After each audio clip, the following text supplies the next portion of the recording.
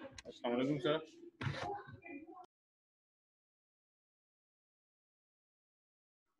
अस्सलाम वालेकुम। Assalamualaikum, sir. कैसे हैं सब अल्लाह का शुक्र ठीक है।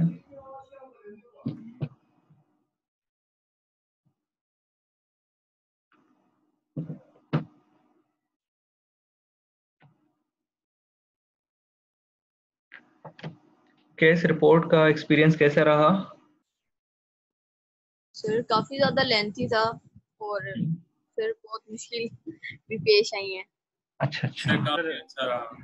अच्छा अच्छा तो सर अच्छा एक रहा। बार वो जो डर था वो उतर गया। है बस काफ़ी कुछ सीखने को मिला है काफ़ी कुछ सीखने Actually, uh, writing this is uh, just skill. Publication जो है ना to publish something is just skill. Uh, you are uh, just in the initial stage now. और इसको एक दफ़ा हम जब uh, किसी मैं एक दफ़ा देखूँगा ना सारे तो अगर ये uh, अच्छे हुए ना तो once we submit it to some journal उसके बाद इस पे जब रिव्यू कमेंट्स आएँगे सो वो देखने वाले होते हैं एंड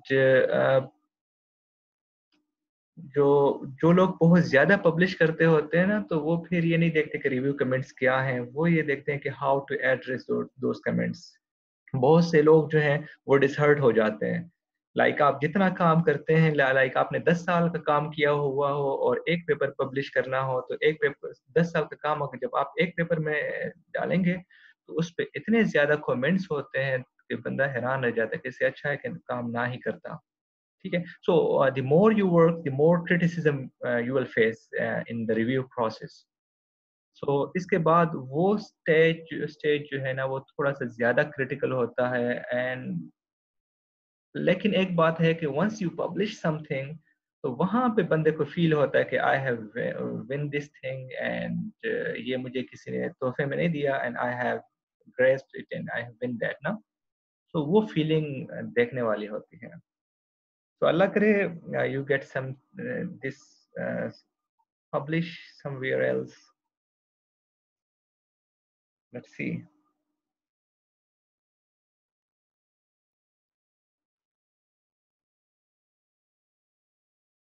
Sir एक चीज़ पूछनी थी आपसे। जी जी। सर हमने रिसर्च पेपर के एंड पे जो होता है कंक्लूजन वो डालना था या नहीं? बेहतर होता है बंदा कंक्लूजन डाल दें। That will be better ना। सर वो आपका टेम्पलेट फॉलो किया हमने तो उसमें उसने तो इसलिए हमने नहीं डाला। ठीक है। नहीं वो लेटर स्टेजेस में हम देखते हैं ना इसको देखते हैं। थोड़ा सा अभी तो अभी आप लोगों ने प्रेजेंट भी करना है इसको। मैं बता दूँगा किसी भी जब पब्लिश करना है जर्नल में तो आप करेंगे हम खुद करेंगे और ये कब करना नहीं अभी पहले मैंने देखना है सारे देखने हैं। और उसके बाद इसको सबमिट करना है देखते हैं। अभी आपको खुद ही समझ आ जाएगी क्या क्या करना है ठीक है? So with time do that ना? सो सर ये टाइम थोड़ा सा रात तक कर दें थोड़ा सा रह गया सर रात तक हो जाएगा? सर ये रात तक हो जाएगा। सर नहीं रात तक नहीं कल तक कर दें प्लीज़ सर प्लीज़ कर दें सर सर बहुत सर पूरी रात नहीं सोई सर प्लीज़ ठीक है कल क- रात नहीं फिर कल कर दें। कल तक कर दें। टाइम ले लें ठीक है no worries thank you sir sir sir sir कल के दिन में कर लें कल के दिन तक कर लेना ठीक है। Thank you so much sir sir thank you so much no worries okay so should we start? Yes sir start Yes, sir. okay 21 part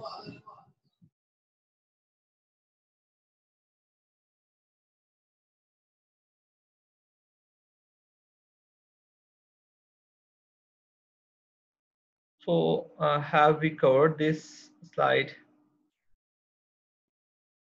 I think we have done this now Yes, sir. okay and this is how uh, we can integrate um, a sequence a gene of interest with the uh, with the marker uh, in the chloroplast genome. And after that uh, also we have done this as well. This is uh, the same the explanation of the same thing. ठीक है ये हम cover कर चुके हैं ना? कि कहाँ कहाँ पे most probably there are plasmids and most probably they are targeting which regions actually on the map of the this map of the plastid genome. ठीक है? ये हम कवर कर चुके हैं ना? yes sir ye kar liya okay. So uh, but uh, there is a big difference between nuclear transformation and chloroplast transformation because and the reason is nuclear genome is single and but here the genome there will be multiple copies of the same genome. Like you can see the three copies of the same genome but that's not just three. Actually they are in hundreds. So um, so what will what will happen if one will have the gene uh, gene of interest integrated in that and the other will uh, other will not have that? So uh, in order to have that uh, we need to have selection subcloning. And uh, this is heteroplasmic uh, this is heteroplasmic now. This is also heteroplasmic. And now this is homoplasmic and all of the plasmids will have the gene of interest. That's that- that's that will be grown on selective media and only those plasmid will replicate that have the genome the, the marker gene integrated in that. So chloroplast transformation in chlamydomonas, this is actually chlamydomonas and the chlamydomonas comprises a single large chloroplast with about 100 copies of his genome and, that, and, and the same applies to plants as well uh, the, um, the higher plants. So initial integration occurs in only one copy of the polyploid um, plastome, resulting in heteroplasmic, like this one, repeated subculturing and uh, selection result in recovery of homoplasmic clone. And this is, the, this is the representation of that thing. Is it clear up till now? Yes, sir. Clear है ना? हाँ जी sir clear हो गया। जी जी clear है?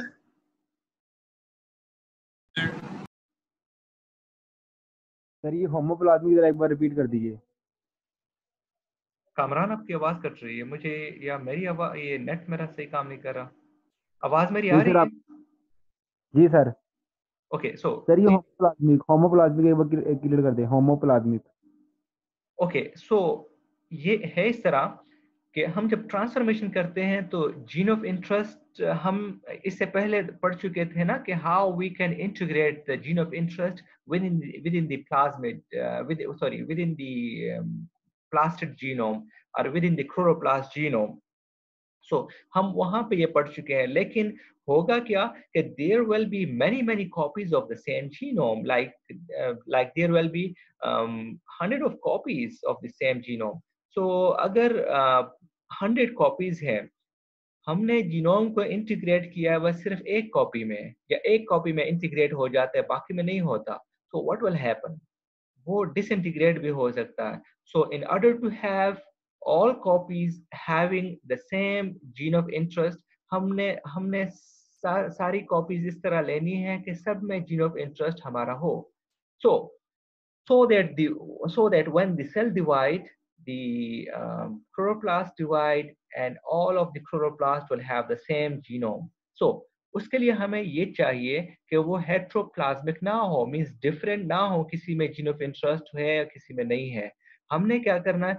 हमने same gene of interest सब में होना चाहिए ताकि और, और अगर सारे जीनोम क्लोरोप्लास्ट के जीनोम सेम हो तो that can be called as homoplasmic यहाँ पे heteroplasmic है this one is also heteroplasmic means it it will it, it has uh, multiple genomes multiple different genomes ये different genomes है इसमें ना तो ये homoplasmic नहीं है this is also not a homoplasmic this is a homoplasmic is it clear now yes sir okay so next to it is uh, delivery of gene to chloroplast So that can integrate foreign DNA ये हम पढ़ चुके हैं foreign DNA into smaller chloroplast DNA हमने उसमें integrate करना है and uh, we will be using uh, a single vector हम single vector use कर सकते हैं या dual vector use कर सकते हैं और हमारा जीन ऑफ़ इंटरेस्ट जो है जो फॉरेन जीन है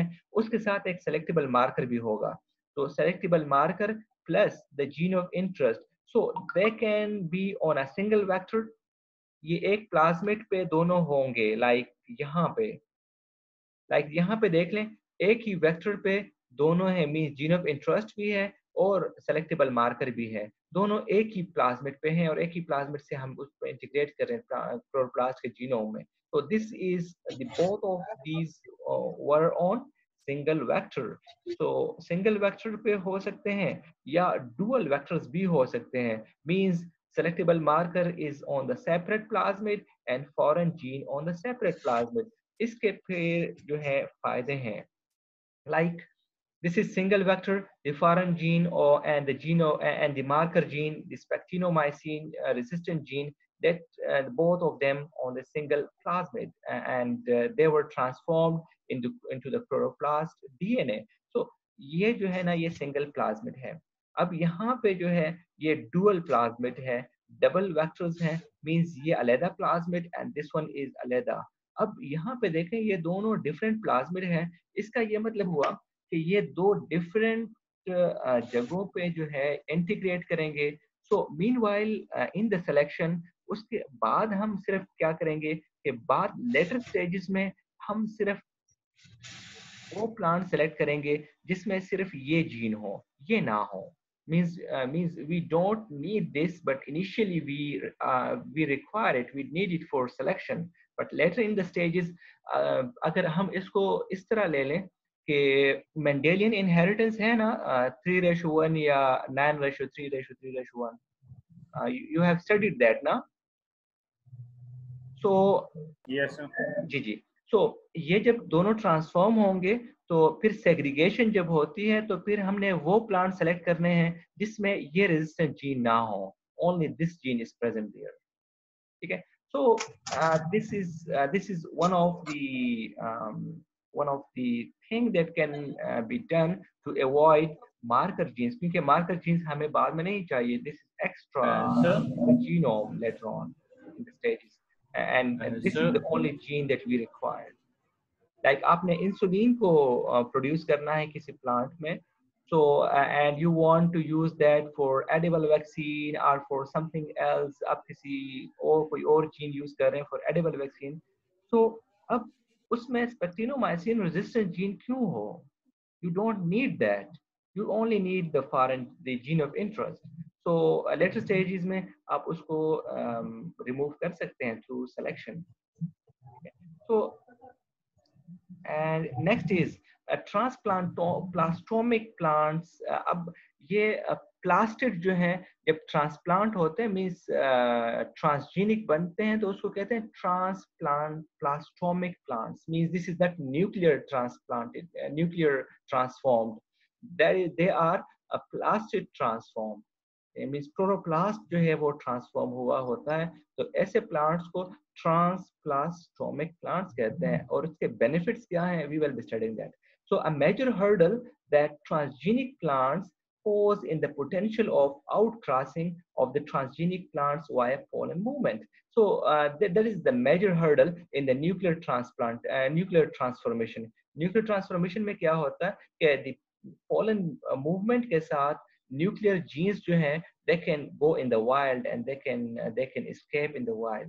So um, a transplantomic, uh, on the other hand, a transplantomic uh, plastomic uh, plant is generally modified plant in which new genes have been inserted in the nuclear DNA, but in the uh, DNA of the chloroplast, not in the nuclear DNA, but in the DNA of chloroplast. So these plants will be having uh, their chloroplast, their, uh, will, will be having transgenic chloroplast or their chloroplast transformed. So their chloroplasts are transformed instead of their nucleus. So a major advantage of this technology is that many plant species plastic DNA is not transmitted through pollen. So pollen ke through ye transform nahi ho sakte, and this is how the uh, the gene flow can be prevented in the into the wild. So uh, transplantomic plants uh, not only increase biosafety, so it is uh, increasing biosafety, but also uh, facilitates coexistence existence of genetically modified uh, conventional or organic plants organic agriculture. सो इससे पहले जब nuclear आप, आपके पास अगर plants हैं if we have plants and they are transgenic transgenic plants हैं लेकिन वो न्यूक्लियर ट्रांसजेनिक प्लांट्स हैं मींस न्यूक्लियर ट्रांसफॉर्म्ड है तो उन प्लांट्स को हम दूसरे प्लांट्स के साथ नॉर्मल प्लांट्स के साथ ग्रो नहीं कर सकते because the pollens can can can can uh, shed on the normal plants and the gene can transfer there. The gene of uh, the, the, transgenic and the transgene can transfer there. But and uh, that is uh, actually a problem. But uh, transplant plastomic plants can be grown with, uh, can be grown with genetically modified plants with the genetically modified conventional plants are organic agriculture uh, or uh, are in organic agriculture because the, the genes cannot flow there. So or they, that, that is also um, uh, will be uh, biosafe uh, in, in, in many respects. So next is uh, what advantages is chloroplast engineering offers. The first one is no position effect so uh, in nuclear transformation, the gene of interest can be inserted at uh, in many locations, but uh, uh in chloroplast, it is not like so. So absence of position effect due to lack of compact chromatin structure and efficient transgene integration by homologous recombination because we are using technology of homologous recombination. So through homologous recombination, the interest precisely can be inserted at a specific location, at specific location. So it avoid, avoids inadvertent in, inactivation of host gene by transgene integration. So here, if you can see,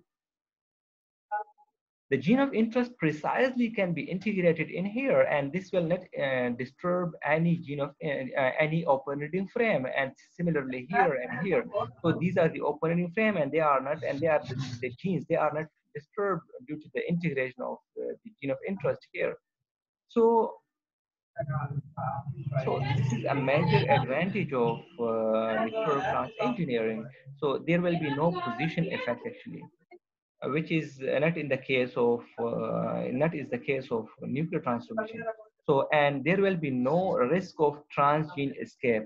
So uh, because chloroplast genome is maternally inherited inherited because this can this is not paternally inherited and there is rare occurrence of pollen transmission. So it provides a strong level of biological containment and thus reduces the escape of transgenes from one cell to the, to the other plant so uh, this is this is how it is, it is uh, advantage uh, and it has advantage on the others because it will be maternally inherited. So um, it is more uh, good than uh, the nuclear transformation. So uh, it will also be no transgenes. There will be no transgene silencing. This is important. In normal plants, when we transfer a gene, that gene normally gets silenced. आवाज़ आ रही है मेरी? आवाज़ आ रही है मेरी? ओके ओके सो नॉर्मल जब न्यूक्लियर ट्रांसफॉर्मेशन में क्या होता है? जब जीन हम ट्रांसफ़र करते हैं न्यूक्लियस में वहाँ पे क्या होगा कि फॉर इंस्टेंस अगर वो जीन कॉन्स्टिट्यूटिवली एक्सप्रेस होगा तो सेल का जो जो फीडबैक मैकेनिज्म है वो ऑन हो जाते हैं in certain cases and they got to silence the transgene transgene silencing बहुत कॉमन फिनोमिना है। लाइक like हम अगेन सेम एग्जांपल मैं इंसुलिन को एक्सप्रेस uh, करना चाह रहा हूँ प्लांट्स में। तो प्लांट्स में मैंने एक्सप्रेस कर दिया and later in the stages of growth that insulin gene even if that is present there insulin gene मौजूद है लेकिन वो express नहीं हो रहा due to the transgene silencing transgene silencing की वजह से वो silent हो जाता है the stringent gene silencing or RNA interference mechanisms you already have studied this does not occur in genetically engineered chloroplast. So chloroplast में ये mechanism नहीं है. That is present in the nucleus and in the cytoplasm. Chloroplast में इस तरह का mechanism नहीं है। So that means there will be no transgene silencing and a lack of epigenetic interference epigenetic interference भी है। लाइक ट्रांसजीन साइलेंसिंग में एक मैकेनिज्म ये भी है कि वो uh, मिथलेशन हो जाती है उसकी। You have studied that so epigenetic interference भी नहीं है। So allowing stable transgene expression in the chloroplast So the transgene silencing uh, is not there is uh, in the chloroplast. So it is also a benefit for uh, the, the um, engineering uh, for engineering chloroplast. And next is high expression level. So high expression level of foreign, foreign genes without the use of antibiotic resistant genes make this compartment ideal for the development of edible vaccines. अब देखें, nucleus में तो सिर्फ़ एक gene ने express होना है ना, या या उसकी दो कॉपीज हैं तो दो होंगे। यहाँ पे अगर हम देख लें, यहाँ पे अगर हम देख लें, यहाँ पे अगर hundred of copy of genome copies हैं, और जीन ऑफ़ इंटरेस्ट एक में हमने ऐड कर दिया है and then we made it homoplasmic so hundred copies हैं। मीन्स के हंड्रेड एक्सप्रेशन है उसकी means hundred R N and that will be hundred times more protein so that will be high expression uh, if compared with the nucleus so high expression level uh, will be there and that, that is a better uh, candidate uh, of transformation for edible vaccine if we consider that so इसकी समझ आ गई है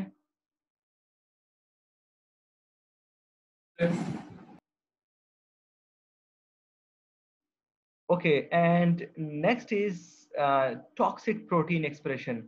So uh, nuclear nucleus में हम toxic proteins को express नहीं कर सकते because uh, there will be nuclear genes और proteins होते हैं और uh, the proteins go into into into a cytosol but यहाँ पे किसी compartment में नहीं होते यहाँ पे क्या होगा foreign proteins observed to be toxic in the cytosol are non-toxic when accumulated within the, within uh, the transgenic chloroplast uh, as they are compartmentalized inside the chloroplast. So बाकी जो system है अगर को, कोई protein है और वो toxic है and we want to express that we need that toxic protein. So it is better to express that in the chloroplast because rest of the machinery will be safe from that toxic protein. ठीक है so toxic protein expression के लिए chloroplast in engineering is a better option than nuclear transformation and next is multiple gene expression multiple gene expression is possible due to polycistronic messenger RNA transcription uh, that is naturally occurring in the chloroplast genome so uh, and homologous recombination homologous recombination uh, में क्या है कि chloroplast transformation involves homologous recombination and therefore precise and predictable. So we can precisely insert a gene of interest as, at a specific location so that avoid multiple site integration. Multiple जगहों पे वो integrate नहीं होंगे. So that will be precise and predictable and that's it. समझ आ गई है? Yes, sir.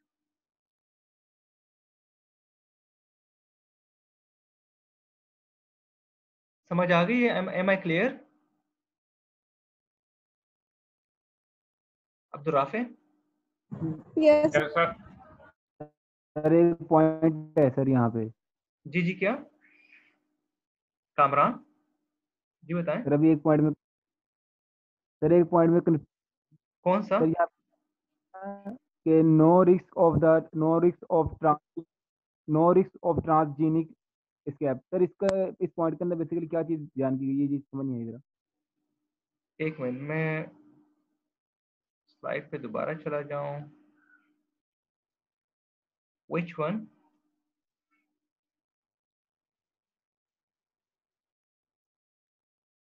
No risk of transgene escape. This one? This one this ये बिल्कुल Yes, ओके मुझे क्यों आवाज़ नहीं आ रही?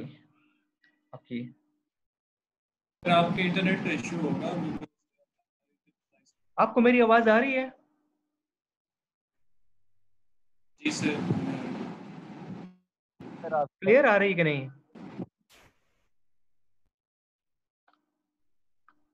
यस सर क्लियर आ रही है। ओके सो एक मिनट शायद आवाज़ मैंने कम की एक मिनट में आवाज़ देखूँ वॉल्यूम ठीक है कि नहीं?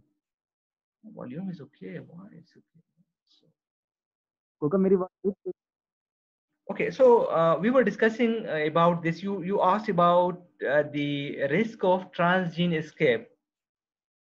Is it?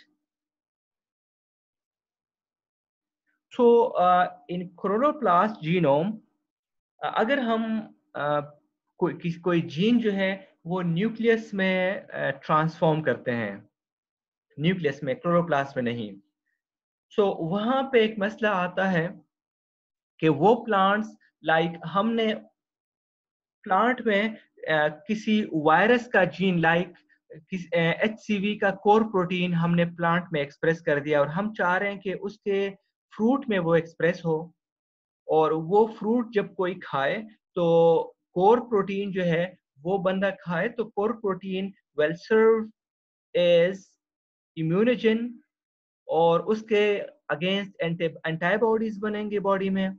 and the and and that will be a sort of vaccination ठीक है so जब वायरस अटैक होगा so the antibodies are already uh, established there and the memory is developed so लेकिन अगर वो plants with uh, the HCV core अगर वो plants uh, हम फील्ड uh, में ग्रो करते हैं ठीक है होगा क्या कि that will bear fruit that will bear flowers और फ्लावर्स में पोलन्स होते हैं and the pollens will go into the wild wild में जा सकते हैं, इसके जो रिलेटिव हैं, इस, इसी प्लांट्स के सो ये वहाँ पे जा सकते हैं। सो उन प्लांट्स के साथ जब ये रिकॉम्बाइन करेंगे मीन्स के फर्टिलाइजेशन जब होगी तो वो प्लांट भी ट्रांसजेनिक बनेंगे because the gene is transferring from here to some another plants और हमें नहीं पता कि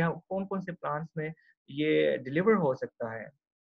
So there is there is a problem in nuclear transformation ठीक है? ओके सो अगर हम यही जीन क्रोरोप्लास्ट में ट्रांसफॉर्म कर दें chloroplast is just like mitochondria in the context that they are maternally inherited.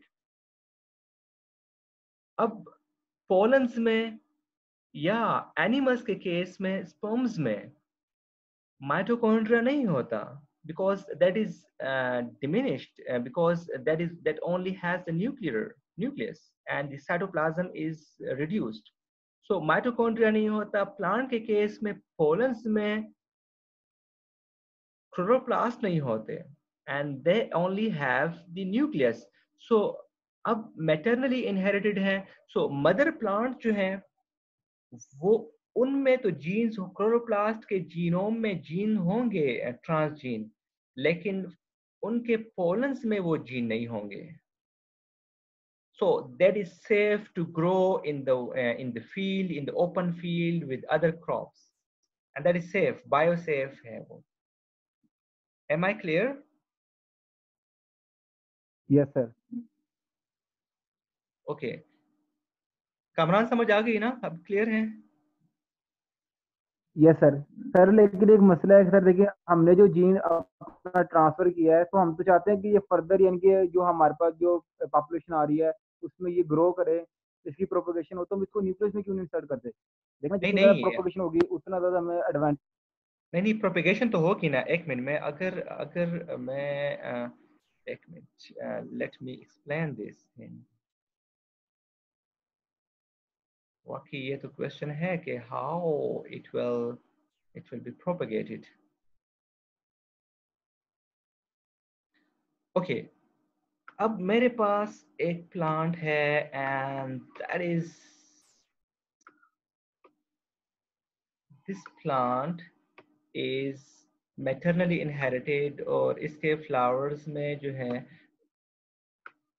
so, इस plant में हमारे पास जीन है जो क्लोरोप्लास्ट में है। Means it will not have it will only have their chloroplast transform chloroplast transformed है इसके, ठीक है? न्यूक्लियस नहीं है। सो क्लोरोप्लास्ट ट्रांसफॉर्म्ड है एंड अब ये जीन इस पूरे प्लांट के क्लोरोप्लास्ट में है ठीक है?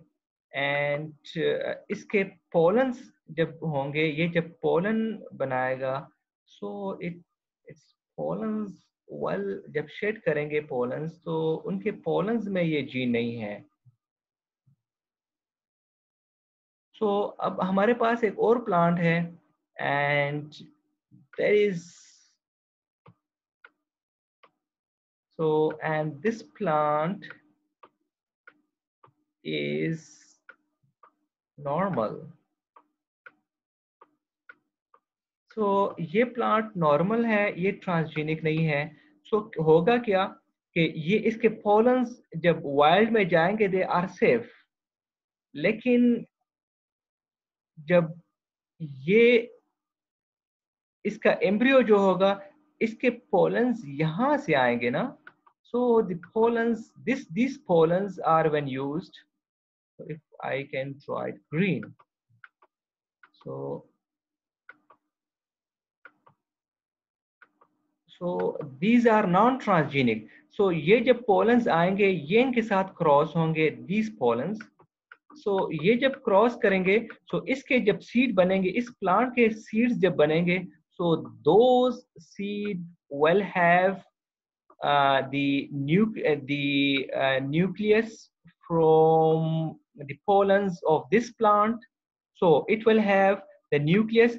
इसका nucleus इस तरह होगा कि nucleus half half होगा. Half will be half will be uh, this this plant like I can if I can draw half जो है इसका nucleus वो ये होगा और half जो है will be like half will be this. ये इसका न्यूक्लियस है। लेकिन इसका क्रोलोप्लास्ट किस तरह होगा? क्रोलोप्लास्ट जो है, that will be like this one, क्योंकि क्रोलोप्लास्ट इसका अपना है। क्रोलोप्लास्ट इस सेल का जब एम्ब्रियो बनेंगे ना तो उस सेल का क्रोलोप्लास्ट अपना होता है। So chloroplast will be transgenic I can if I can draw तो क्रोलोप्लास्ट इसका ट्रांसजेनिक है दिस वन क्लोरोप्लास्ट इसका अपना है और सिर्फ़ और सिर्फ़ इस सेल में तो कोई क्लोरोप्लास्ट नहीं होगा ना इस पोलन में तो कोई क्लोरोप्लास्ट नहीं होगा ना। So that when fertilize the the cell within this plant so इस सेल के फर्टिलाइज को इसको फर्टिलाइज जब करेंगे सो so ये तो सेल न्यूक्लियर डीएनए तो 50 50 परसेंट होगा लेकिन chloroplast is completely of this plant so this is how the seed becomes uh, the grow up and this the, the new plant will be just like this with perspective of the chloroplast chloroplast के perspective में अगर हम देख लें so this is this will be the identical copies of this plant अगर मैं इसको थोड़ा सा और explain कर दूँ हम जो हैं uh, with perspective of mitochondria are the exact copies of our mothers our grandmothers our grand grandmothers we are the exact copies uh, हम grand grandmothers के exact copies हैं with with respect to our chloroplast uh, sorry with respect to our mitochondria समझ आ रही ना हमारा nuclear DNA जो है वो 50 50 परसेंट शेयर होता है so we will be like our grandfather 25 percent uh, like our grandfather with respect to our nuclear dna and 50 uh, from father and 50 from mother so and but 100 percent like our mothers with uh, with mitochondrial genes ठीक है so uh, this is a bit difference between so Kamran आपको question uh, का जवाब मिल गया कि how it will multiply yes sir yes sir okay that's great that's great ठीक है um,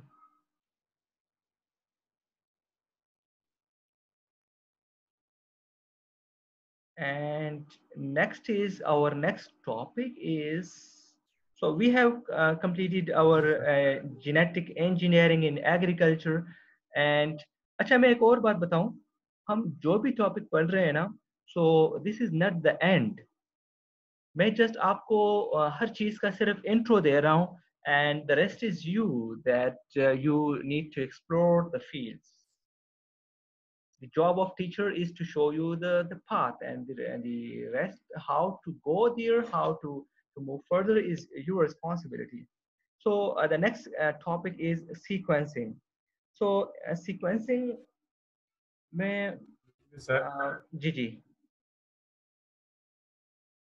sir ये पोजीशन जरा दोबारा एक्सप्लेन क्या क्या पोजीशन इफ़ेक्ट आपकी आवाज़ कट रही है जी जी क्या बताएँ दोबारा no risk of transgenic escape के ऊपर जो पोजीशन इफ़ेक्ट है, वो जरा दोबारा एक्सप्लेन कीजिएगा अच्छा पोजीशन इफ़ेक्ट का ये था ना कि लाइक अगर मैं यहीं पे बना दूँ लाइक अगर क्रोमोसोम के, अगर हमारे पास क्रोमोसोम्स हैं, so if this is a chromosome और इस क्रोमोसोम का तो हमने, हमारे जीन ऑफ़ इंटरेस्ट जो है and this is our chloroplast genome so position effect ये है कि जीन ऑफ़ इंटरेस्ट कहीं भी इसमें इंटीग्रेट कर सकता है। Like it can integrate it here here here कहीं भी इंटीग्रेट कर सकता है। ठीक है? न्यूक्लियर जीनोम में this is the chromosomal DNA लेकिन प्लाज्मिड में हम हमने होमोलोगस रिकॉम्बिनेशन के थ्रू इंसर्जन करनी है। सो so, वहाँ पे क्या होगा कि होमोलोगस रिकॉम्बिनेशन में स्पेसिफिक लोकेशन पे जीन इंटरेस्ट इंसर्ट होगा कहीं और नहीं होगा। And that depends on the flanking sequence अगर हम ये वाले फ्लैंकिंग सीक्वेंस यूज़ कर रहे हैं तो सिर्फ़ और सिर्फ़ यहाँ पे इंटीग्रेट होगा। अगर हम यहाँ के फ्लैंकिंग सीक्वेंस यूज़ कर रहे हैं फ्लैंकिंग सीक्वेंस ये यूज़ कर रहे हैं so this will be integrated in here ठीक है? सो so, ये पोजीशन इफ़ेक्ट है। अच्छा यहाँ पे कोई स्पेसिफिक जीन है कोई जीन है प्लांट का कोई इंपॉर्टेंट जीन है इस जीन के अंदर ये इंसर्ट हो सकता है, क्योंकि this is hit and try कोई पता नहीं कि किसी स्पेसिफिक जीन के अंदर ही इंसर्ट हो जाए तो वो उस जीन का जो फ़ंक्शन है, वो डिस्टर्ब हो जाना है। यहाँ पे तो खुद बनाते होते हैं कि लाइक कोई जीन डिस्टर्ब ना हो, उसका ओपनिंग फ्रेम खराब ना हो। So, we design the flanking sequence like here and here और इस तरह का जगह की जगह हो कि वहाँ पे कोई जीन ना हो। so we can integrate uh, on our precise location ठीक है समझ आ गई है क्लियर है जी सर बिल्कुल clear that's great that's great okay so uh, our next topic is sequencing sequencing is too much important you are in molecular biology or uh, sequencing uh, everybody want to ask everybody uh, will want to know from you what sequencing actually is. So sequencing to start with sequencing a dna sequence so dna molecules are comprised of four different nucleotides adenine thymine cytosine guanine and they are uh, colored differently so these are the basis of sequencing in nucleotides को different color दिए जाते हैं different uh, dyes attach की जाती हैं fluorescent dyes and we will be talking about that later on so इस तरह के different uh, fluorescent dyes add की जाती हैं इन nucleotide के साथ और इनके फिर fluorescence को detect किया जाता है and based on that fluorescence we can know the actual sequence of uh, DNA so uh, DNA are actually comprised of only these four different types of uh, nucleotides. And uh, DNA sequencing actually mean uh, to determine the exact order of nucleotides within a DNA molecule. And this is how it is it is. Okay? So uh, DNA sequencing is the mean to determine the exact order of nucleotides within our D N A तो D N ए जो है उसमें हम उसका sequence का order मालूम करना है और वो किसके थ्रू करना है? डी एन ए सीक्वेंसिंग के थ्रू तो this is what our bases are और uh, हम ए क्यों सीक्वेंस करते हैं? तो to determine all genes available for organism organism to use so हम हम अगर चाह रहे हैं कि तमाम जीन्स को हम हम जान सके कि genes the organism is using. So sequencing is a, um, a precise tool to know about that.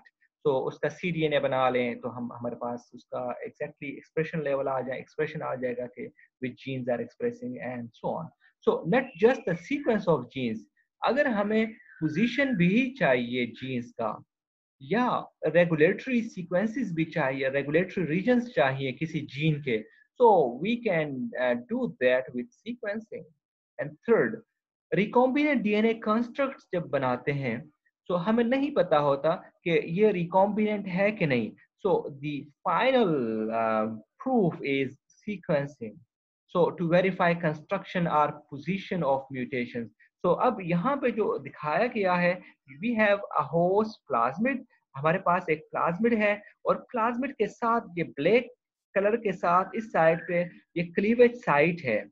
So so, जब क्लीवेज साइट अगर हमारे पास है अगर हम उसको रिस्ट्रिक्शन डाइजेशन करवा लें उसकी और हमारे पास जीन ऑफ़ इंटरेस्ट ये छोटे छोटे करके दिखाए गए हैं इसकी भी restriction digestion with the same enzyme हम करवा लें so that can be ligated here अब अगर जब ये लाइगेट हो जाएँगे हमारे पास रिकॉम्बिनेंट प्लाज्मिड बन गया है। अब इस रिकॉम्बिनेंट प्लाज्मिड का हमें नहीं पता होता तो one one proof is to to confirm it through restriction digestion and the ultimate proof is to do sequencing sequencing के through हमें पता चल सकता है कि Either the plasmid is recombinant or not. इस केस में हमारे पास यहाँ पे सीक्वेंसेस होते हैं जो नॉन होते हैं और यहाँ पे उसको कहते हैं यूनिवर्सल प्राइमर्स यूनिवर्सल प्राइमर्स उन यूनिवर्सल प्राइमर्स को यूज़ करके हम ये देख सकते हैं कि इंसर्ट क्या है। ठीक है? सो यूनिवर्सल प्राइमर जो है वो प्लाज्मिड का हिस्सा होता है, होते हैं and from that we can know the insert specific insert through sequencing again through sequencing अभी तक हम सीक्वेंसिंग के बारे में ये पढ़ रहे थे कि सीक्वेंसिंग है क्या लेकिन how we can do sequencing and how what are the mechanism of sequencing so let's see that so there there are different types of uh, there are different methods of sequencing and different types actually the first one is uh, sanger dideoxy uh, and this uh, dideoxy nucleotides जो हैं ये method जो है Sanger method that is primer extension means primer attach होना है और उसने extend करना है. But that is chain termination means जब चेन एक्सटेंड करेगा एक एक हर एक न्यूक्लियोटाइड के साथ चेन ने टर्मिनेट होना है. अगर ये टर्मिनेशन न्यूक्लियोटाइड्स है we will be studying about this later on but यहाँ पे जस्ट यही समझ लें कि सेंगर डायडीऑक्सी मेथड जो है ये प्राइमर एक्सटेंशन है और चेन टर्मिनेशन है सो so, और इस चेन टर्मिनेशन की वजह से वी विल नो कि which nucleotide has been added there most popular protocol for sequencing and very adaptable, scalable, uh, scalable to large sequencing projects. So this is the most uh, popular and the gold standard sequencing method. And uh, this is um, what this is known as first generation sequencing. ठीक है समझ आ रही है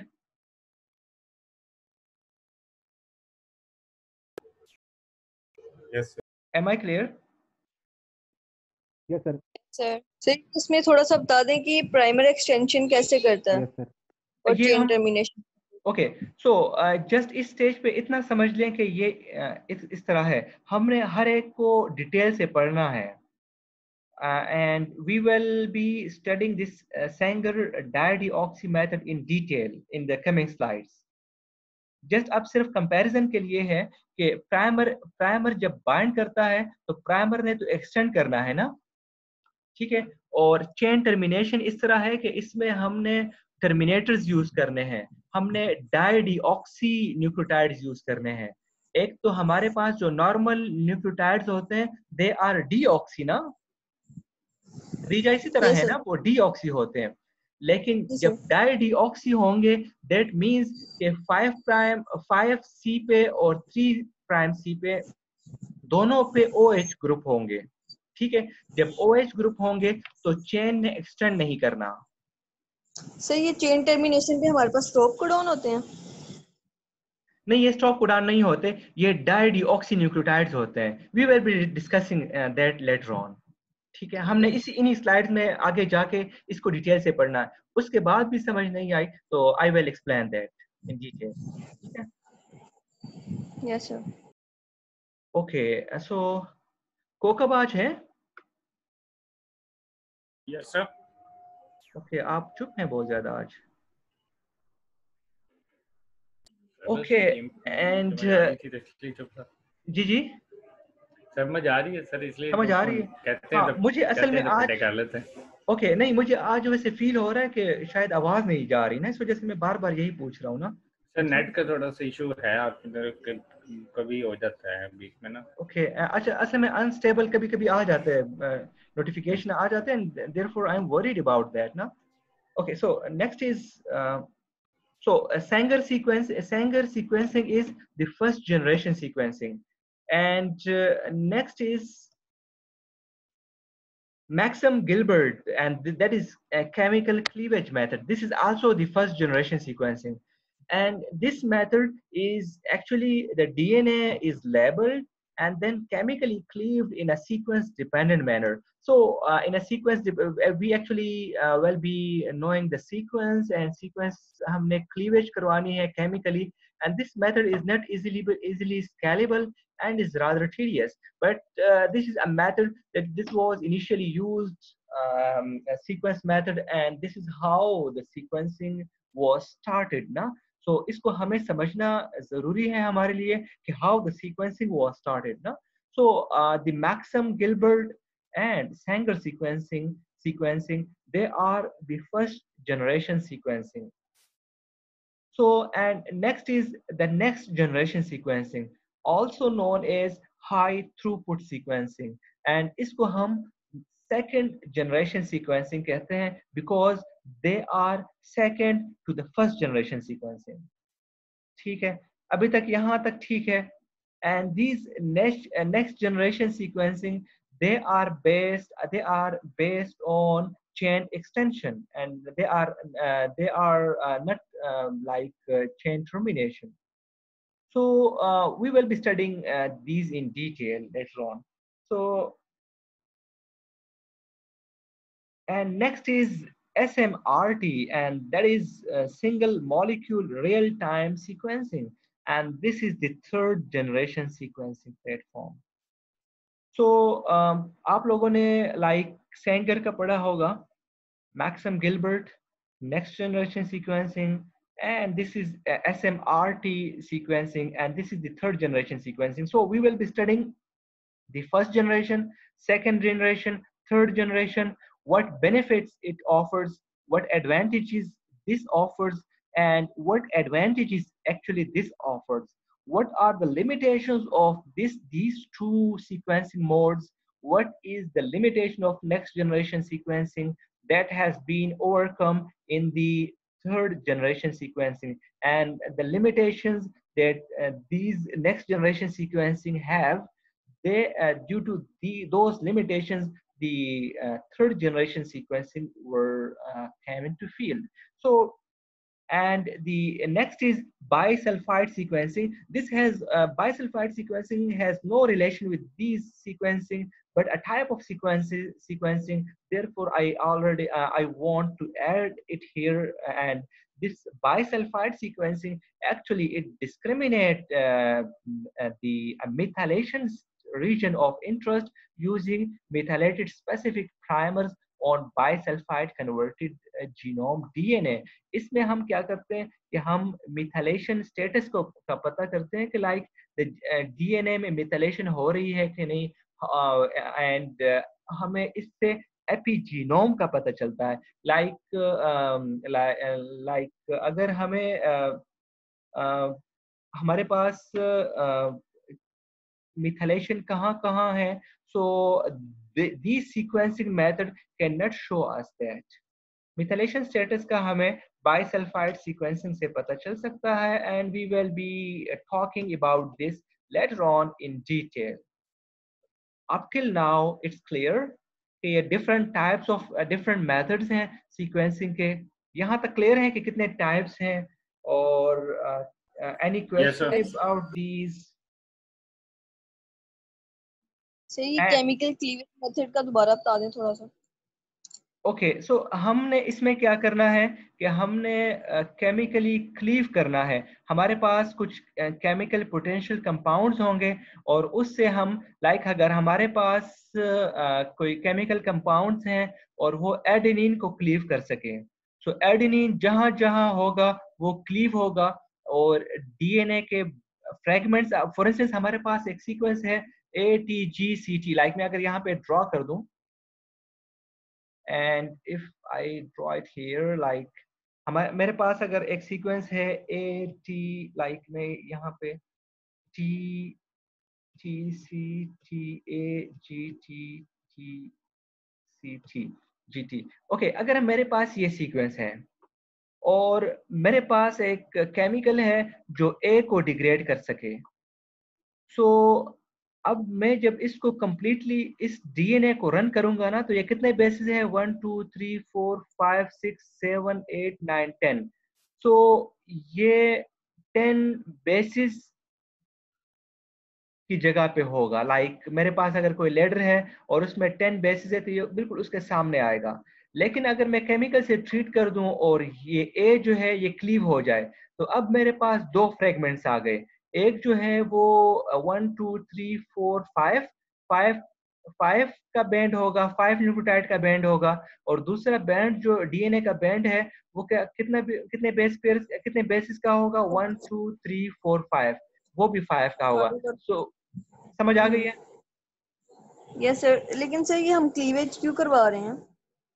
ओ cleavage इस वजह से करवा रहे हैं कि हमें एक्चुअली ये डीएनए का सीक्वेंस अगर आप पीसीआर लगा लें और एक एपेंडॉफ ट्यूब में आपके पास डीएनए पड़ा हुआ है लाइक अगर कोई हमारे पास एपेंडॉफ ट्यूब है और उसमें डीएनए है तो आई वी डोंट नो कि अगर for instance we don't know कि एपेंडॉफ ट्यूब में इस वॉल्यूम में ये डीएनए का सीक्वेंस क्या है?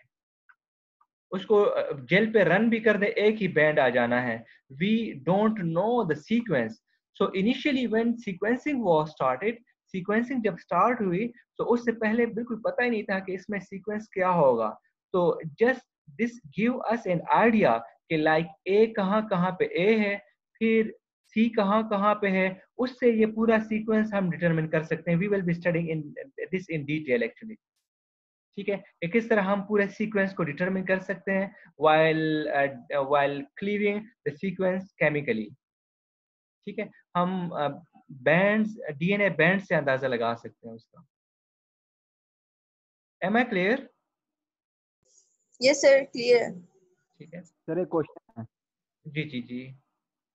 सर फ़र्ज़ करें अगर हमारे पास इसी इसी सीक्वेंस के अंदर अगर हमारे पास सीरीज़ के अंदर तीन चार ए आ जाए मतलब तीन चार एडिनिन आ जाए तो वो तो साथ साथ क्लीविंग करता जाएगा। जी जी बिल्कुल इसी तरह है। इसी तरह ये हम कल के लेक्चर में हम पढ़ेंगे ये दोनों हम बल्कि ये तीनों हम कवर कर लेंगे इंशाल्लाह नेक्स्ट लेक्चर में। और ये एग्जैक्टली exactly हम वहाँ पे वो जेल पे बैंड और इसमें आपका क्वेश्चन भी है इसमें कि जेल पे डिफरेंट टाइप्स ऑफ़ बैंड्स हैं और उसको हम हल करेंगे कि किस तरह हम डिटरमिन कर सकते हैं कोई भी सीक्वेंस ले लें। Okay sir. हाइपोथेटिकली कोई भी सीक्वेंस ले लें और उसको हम अगर क्लीवेज करवा करवा लें किसी केमिकल से तो बिल्कुल we can determine the sequence any question इसमें मैक्सिम गिलबर्ट में तो हमें काफ़ी ज़्यादा केमिकल्स यूज़ करने पड़ेंगे। एक हाँ इसमें इसमें तीन चार टाइप के केमिकल्स हैं बिल्कुल बिल्कुल इसी तरह तीन चार टाइप के केमिकल्स हैं। जो मुश्किल हमें नज़र आएगी ना that is uh, and a bit uh, more informative. That is uh, this next generation sequencing. और उससे भी जो ज़्यादा एडवांस है जो आजकल इन है that is this S M R T sequencing अच्छा एक और बात भी याद रखें we have studied about amplification amplification आप पीसीआर पढ़ चुके हैं ना यस सर पढ़ चुके हैं पढ़ चुके हैं ना but that pcr is a template that is uh, that is um, a complementary strand amplification we will हमारा एक टॉपिक है जिसमें हम कवर करेंगे and that is um, uh, isothermal amplification इसमें जो जो हम पीसीआर में देखते हैं ना इसमें तीन डिफरेंट टाइप्स के टेम्परेचर यूज़ करते होते हैं ठीक है लेकिन आया हम एक ही टेम्परेचर यूज़ करके लो टेम्परेचर यूज करके एम्पलीफिकेशन कर सकते हैं कि नहीं so these maximum of these um, sequencing platforms they are using isothermal amplification and we will be discussing that in detail actually so this topic will be more interesting and we will be more up to date inshallah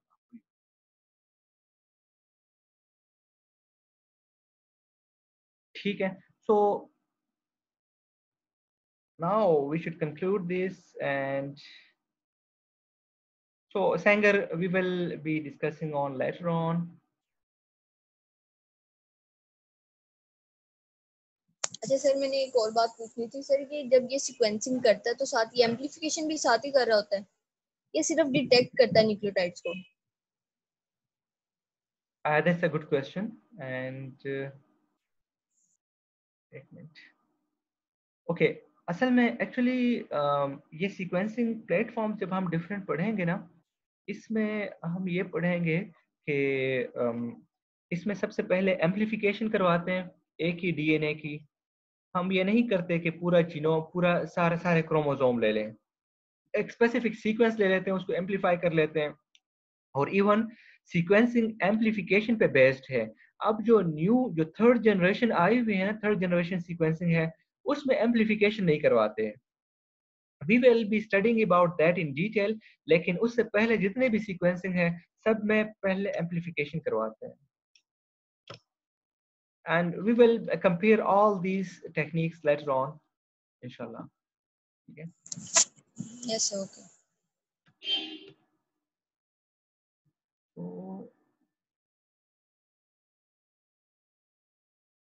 today is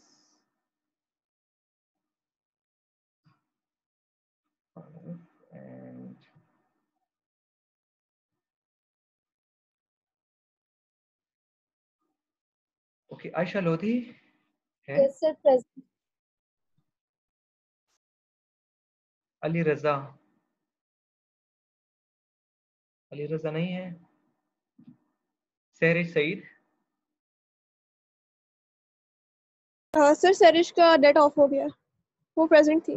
Kokab Imran है? Yes sir Hasan Raza yes है? Huma Majid present sir Saulat Nawaz. Sir उसका net का issue है वो अभी present था। Sir. Present है। दुर्र रमीशा। दुर्र रमीशा नहीं है। Simra Arif. Simra Arif. Maryam. Yes sir sir Simra present. Simra Arif present है। मरियम। मरियम नहीं है जवेरिया। यस सर प्रेजेंट कौन? Javeria Arshad yes sir Javeri Arshad okay Mahnoor Khadijatul Kubra. Sir Mahnoor का half an hour बाद disconnect हो गया। ठीक है Khadijatul Kubra. Present sir okay Laiba Laiba Tahir. Present sir Savera Azhar. Yes sir Vajeeha Urooj present sir and Tabish Arif yes sir Samaiya Sajjad Sumaiya Sidra Noor sir Sidra Noor है?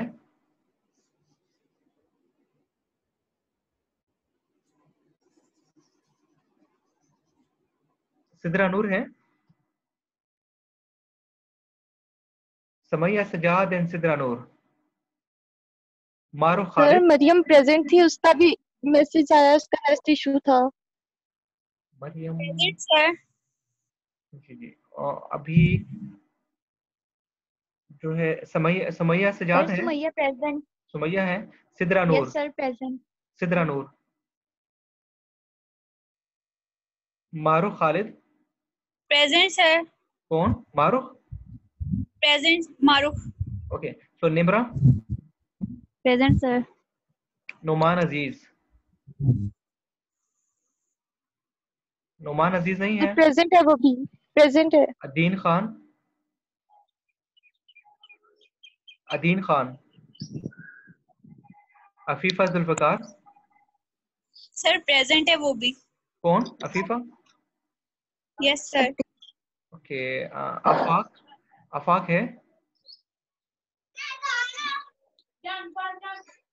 एजादी सफी जी sir present okay so Mahnoor Khan Mahnoor Khan okay Ayesha Zaman present sir Zainab Hayat Roha Ahmed. Okay और Roha Ahmed? Present sir Maria Usmani? Present present Javeri Iftikhar present sir Areej Mateen present sir Faisal Bashir? Sir वो भी present है। Afzal Yunus? Yes sir Reshma? Rafe? Naeem है? Sir मैं हाँ। Present sir Reshma present Reshma present है। ठीक है रेशमा है। जी सर। सर अदीन भी है। Adeen where is Adeen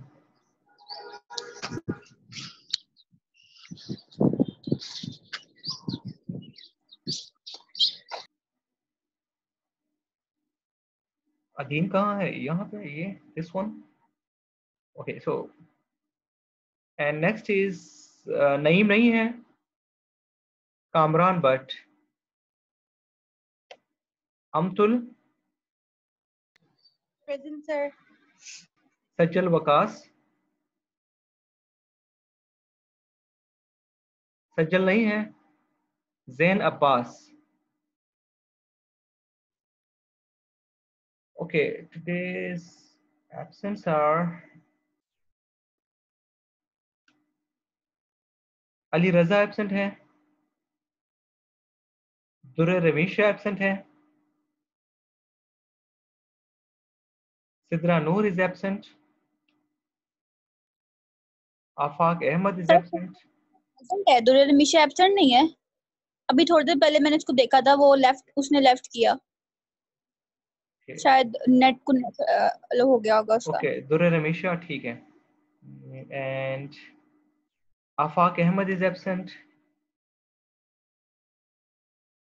and Muhammad Naeem is absent.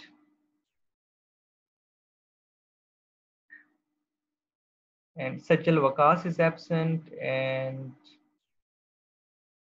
Zain Zain Abbas is absent.